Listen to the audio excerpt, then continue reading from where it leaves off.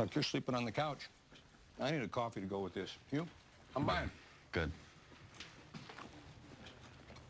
Yo, vintage player. You got a smoke? Don't mind if I do. Thank you, sir.